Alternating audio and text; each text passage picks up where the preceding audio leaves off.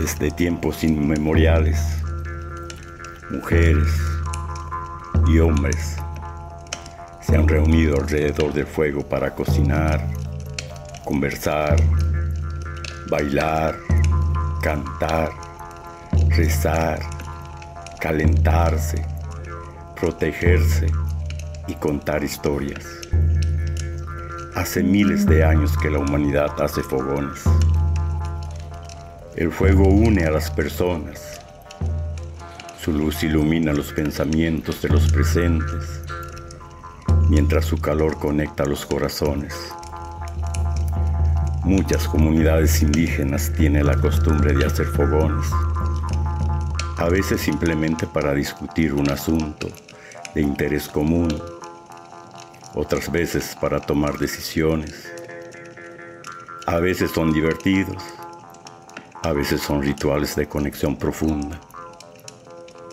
Los fogones promueven la memoria, el intercambio, el cruzamiento de saberes.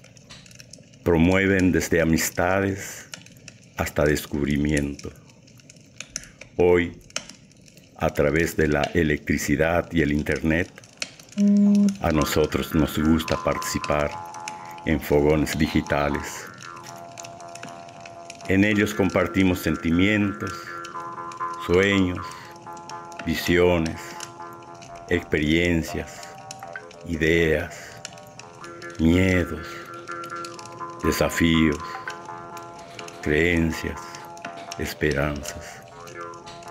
Fijamos un tiempo para estar juntos y entonces nos encontramos en un lugar virtual para estar realmente juntos. En el centro del fogón está el fuego. Una o dos personas pueden facilitar la dinámica del encuentro. A nosotros nos gusta tener una o dos preguntas para guiarnos al iniciar el fogón.